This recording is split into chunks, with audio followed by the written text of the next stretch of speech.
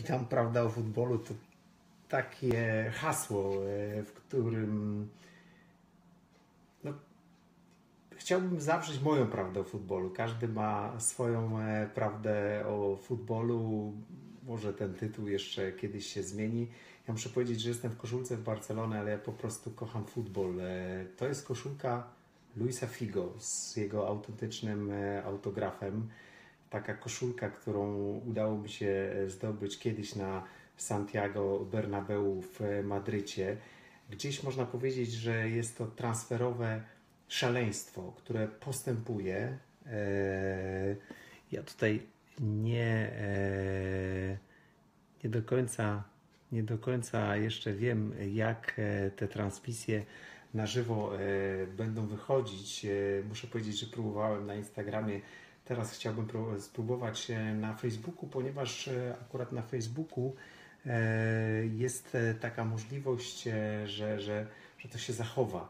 A też czasami będzie mi się zdarzać postawić przed obiektywem ciekawych rozmówców. Niedawno rozmawiałem z trenerem Antonim Piechniczkiem, z trenerem Jackiem Gmochem. Wcześniej wymienialiśmy poglądy ze Zbyszkiem Masternakiem. E, z Mateuszem Borkiem, bo wydaje mi się, że warto rozmawiać o futbolu, warto dyskutować. E, prawda o futbolu to jest zawsze osobista prawda. To jest prawda e, ludzi, którzy po prostu mają pasję. Niektórzy ludzie kibicują tylko Barcelonie, inni tylko Realowi Madryt. To jest ta koszulka Realu Madryt, którą otrzymałem od Luisa Figo z jego autografem. Pewnie kiedyś, ja nie zbieram specjalnie koszulek, więc pewnie kiedyś ta koszulka trafi e, po prostu do, e, na jakąś aukcję. Natomiast muszę Wam powiedzieć, że, że ten tydzień to jest tydzień transferu Neymara, czyli ostatnie dni to są, to są pod hasłem wielkich pieniędzy, tak? I czy one bulwersują te wielkie pieniądze? Na pewno w jakimś stopniu tak, natomiast ja bym powiedział, one chyba zawsze bulwersowały w jakimś stopniu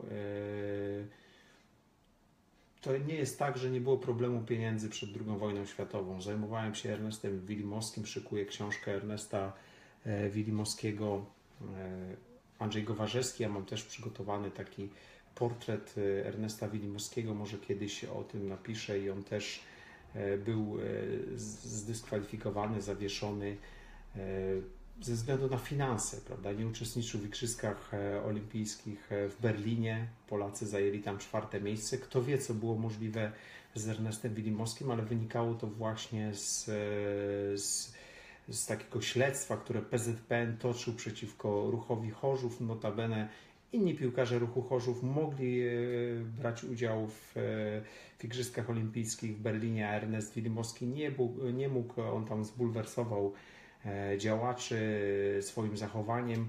Tak więc, e, a można powiedzieć, pieniądze cały czas bulwersują e, i się zastanawiamy, co dalej, w jakim to kierunku zmierza. La Osservatore Romano, watykański dziennik w końcu lat 90.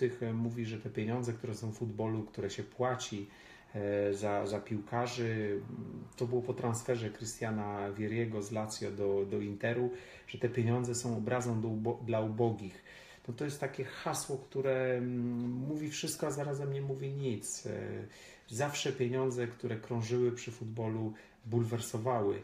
E, różne sytuacje, ja muszę powiedzieć, między Barceloną a Realem można wybierać. E, Luis Figo wybrał Real kosztem Barcelony, ale przecież on nie był pierwszy.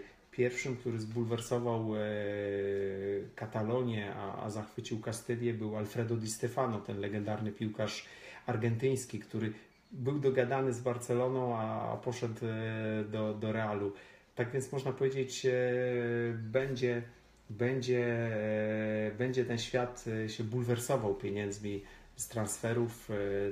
Real kiedyś skorzystał z tej klauzuli w kontrakcie Luisa Figo z Barceloną.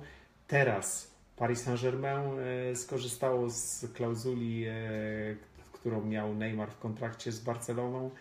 Tak będzie, to będzie bulwersować, natomiast ja bym powiedział tak, my często rozmawiamy o, o, o pieniądzach, e, to jest naturalne, natomiast, e, natomiast gdzieś chciałbym częściej e, tutaj rozmawiać o istocie tej gry, a, a to jest pasja po prostu. Ja muszę powiedzieć, że, że spotykam bardzo ciekawych rozmówców, stąd zastanawiam się, czy nie warto wykorzystać właśnie transmisji na żywo, facebookowej transmisji na żywo, żeby gdzieś uwiecznić takie momenty. Muszę powiedzieć, że ostatnie podróże moje po Polsce to były takie podróże związane z historią, z kolejną książką, e, którą e, przygotowujesz, szykuję. Jest dostępna na rynku książka e, Prawda o reprezentacji. Ona jest teraz w sprzedaży. Muszę powiedzieć, że tu też jest o pasji, o futbolu, o, grze, ale też są szczegóły transferowe dotyczące, dotyczące Roberta Lewandowskiego, szczegóły kontraktowe E, Zbigniew Boniek, e, Bayer, Dobre Auto, Lubański, Real Magia. To są słowa e, no, swego rodzaju polemiki, która się odbyła między Zbigniewem Bońkiem a Włodzimierzem Lubańskim w czasie Euro 2016, bo muszę powiedzieć, że no, sprowokował Robert Lewandowski już przed Euro. Bayern wtedy bardzo głośny artykuł w magazynie Der Spiegel. E, ja tu cytuję wiele e, rzeczy z tego właśnie artykułu, też przytaczam e, jakby ten spór, który trwał między Robertem Lewandowskim a Borussią Dortmund o, o to, żeby odejść do Bayernu. Wcześniej przecież on miał pierwszą propozycję w 2012, ta propozycja ponowiona w 2013, ale ostatecznie Dortmund stanął na stanowisku, że, że utrzyma Roberta Lewandowskiego do końca kontraktu. E, tak zrobił. Dzisiaj miałem okazję rozmawiania z prezesem e, Zbigniewem Bońkiem i tak go odpytałem o, o polskie drużyny w pucharach. E, I muszę powiedzieć, że, że, że no, prezes stara się unikać takiej bezpośredniej krytyki klubów, bo gdzieś, gdzieś każde jego słowo waży, no ale na koniec no, też uważa, że, że można inaczej prowadzić te kluby. Można sięgnąć po ten wywiad na polsatsport.pl w tym wywiadzie odnosi się choćby do sytuacji z e, Odzija Ofoe. E, o tym mówił też Antoni Piechniczek niedawno w, e, na polsatsport.pl. Antoni Piechniczek mówi, że piłkarze nie chcą respektować kontraktu z klubami. Ja mu tak mówię, że, że piłkarze nie respektują tych kontraktów często. On mówi, bo ktoś im na to pozwala. Też właśnie Zbigniew Boniek do tego nawiązał, że Odzidzia Ofoe miał ważny kontrakt z Legią. Legia powinna postawić e, sprawę kategorycznie, zdecydowanie, wypełnić kontrakt. Co to jest 2,5 miliona euro od e, Olympiakosu Pireus, jak do zarobienia jest 20 milionów euro z Ligi Mistrzów E, można powiedzieć, że te pieniądze trafiłyby do Legii, ale gdzieś trafiłyby na polski e, rynek. E, może Legia by też przemyślała pewne rzeczy, może łatwiej by było pociągnąć piłkarzy z polskich klubów. Notabene ta dyskusja o obcokrajowcach też się pojawia w wywiadzie ze Zbigniewem Bońkiem.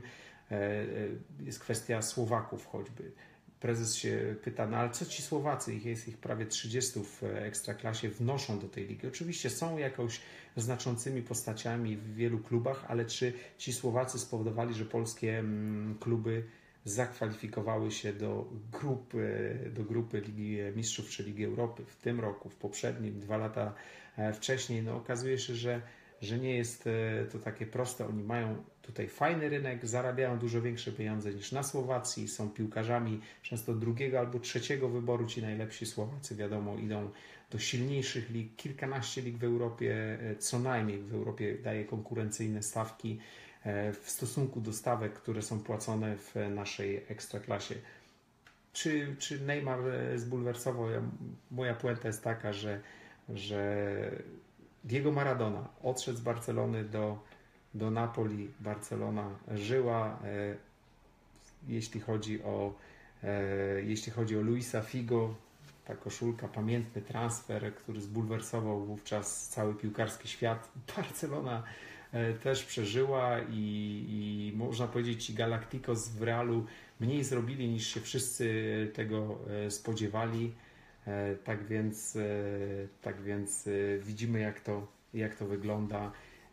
Barcelona przeżyje też bez, bez Neymara. Taka jest piłkarska rzeczywistość. Ten pierwszy test za mną. Pozdrawiam.